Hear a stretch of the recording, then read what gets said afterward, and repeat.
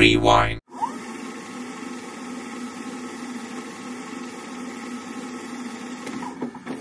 Hi folks, welcome back.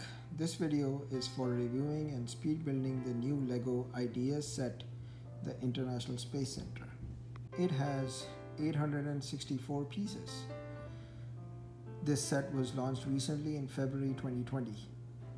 On the back of the box are more pictures of the Space Center. I am super excited about this set. I also have the NASA Apollo Saturn V set which was a lot of fun building and learning about the details of different sections of the rocket.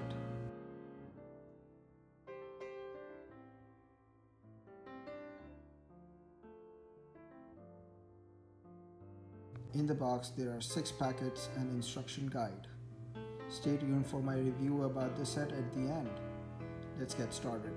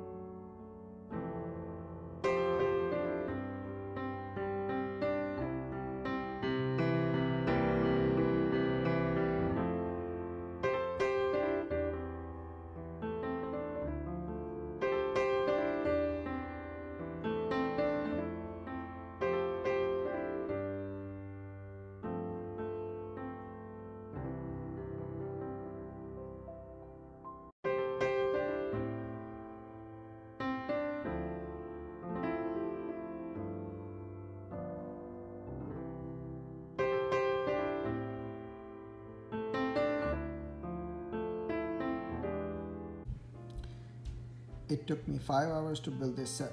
It was fun to build but I personally feel the Saturn V was a much more rewarding as it had details of inside of the rockets while you're building the set. Overall it was an easy build and uh, the center is just sitting on the stand so need to be extra careful while moving it around. After building set I actually do realize that the actual space center is true um, is truly a modern marvel. Overall I would give this set about 7 out of 10 and uh, for for the price uh, of the set of $70 um, it's not bad. Let me know what are your thoughts about this set after building it in the comment section. Thank you for watching this video. Keep your distance and stay safe. Thank you